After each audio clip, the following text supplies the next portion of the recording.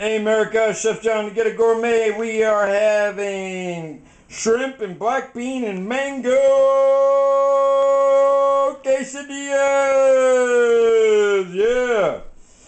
And um, so I, I teach you some great tricks about quesadillas here. I talk about how we used to marinate our chicken and beef in this juice and spices before or overnight before we made our fajitas and our, our quesadillas at this one restaurant. And this costs about 350 Wonderful combination, the heat and sweet, and the shrimp and the black bean. Uh, it just rocks, man. And the lime juice. Chef John, Ghetto Gourmet. Why don't you eat better in your home, man? This is what I'm talking about.